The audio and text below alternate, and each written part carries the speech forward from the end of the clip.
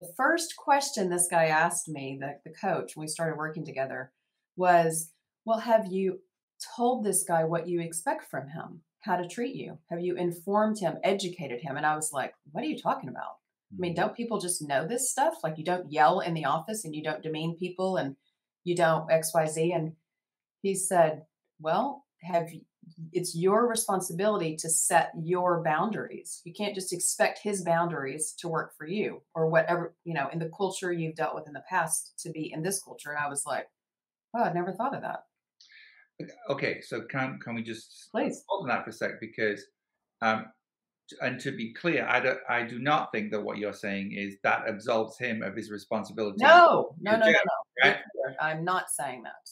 It- what you're saying is that you also have the responsibility if you're going to if you need to stay in relationship with that person to set your limits and your boundaries so that um, you can stay sane you can Mhm. you know you can function. And so that and so that it doesn't affect you in such a way that it is affecting your relationships and your sense of well-being and your and your sleep. I mean i've been through through that too uh, to a point where you know i was working on a project and one day i came came home and it, it was awful because i was working with somebody who was just really toxic a client. Um, and one day my husband said to me um, i'd like my husband back please.